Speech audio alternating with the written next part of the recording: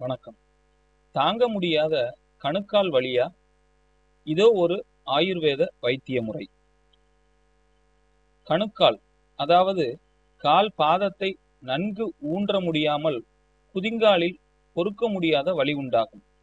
காலை அழுத்தி ஊன்ற முடியாது மேலும் சிறு கட்டி போல் காணப்படும்.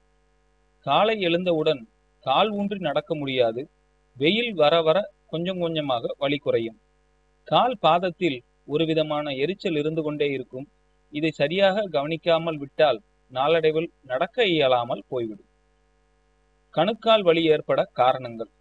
வாதம் பித்தம் கபம் போன்றவற்றில் பித்த நீர் அதிகமாகி வாத நீருடன் சேரும்போது தலையில் நீராக கோர்த்து தலைவலியை ஏற்படுத்துகின்றது. இப்படி தலையில் கோர்க்கும் நீர் கழுத்து வழியாக இறங்கி காலின் அடிப்பகுதியில் கணுக்காலில் தங்கிவிடுகின்றன. கணுக்கால் வலி ஏற்பட காரணங்கள் மலச்சிக்கல் அஜீரண கோளாறு போன்றவற்றால் கூட இந்த வலி உருவாகலாம். கணுக்கால் வலி ஏற்பட மற்றும் ஒரு காரணங்கள் பகல் தூக்கம் அதிக உடல் உழைப்பு உடல் உழைப்பின்மை போன்ற காரணங்களால் கூட கணுக்கால் வலி உண்டாகும். வலியை போக்க இந்த வைத்தியத்தை செய்து பாருங்கள்.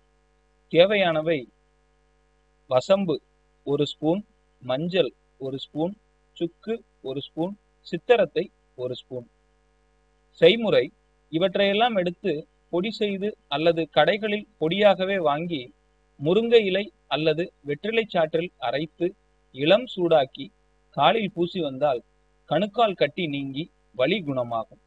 யூக்கலிப்டஸ் தைலம். கற்பூரவள்ளி தைலம் அல்லது யூக்கலிப்டஸ் தைலத்தை தடவி வர அதாவது தடவி அரை மணி நேரம் கழித்து இளம் சூடான நீரில் கழுவி வந்தால் கணுக்காலில் உண்டான கட்டி சிறிது சிறிதாக குறையும். மேலும் தகவல் அறிய சேனலை சப்ஸ்கிரைப் பண்ணுங்க. நன்றி.